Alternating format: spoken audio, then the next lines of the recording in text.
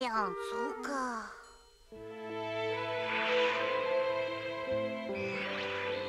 飛んでは幼稚園児に抜かれパーマンパワーは使い道がなくおまけに知り合いはみんな年寄りだ。2084年ではパーマンは何の意味もない。痛いとん？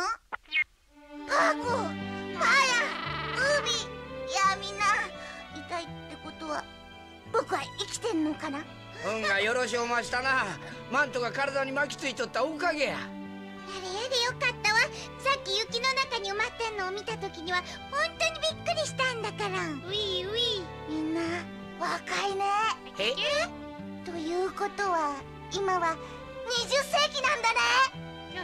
え？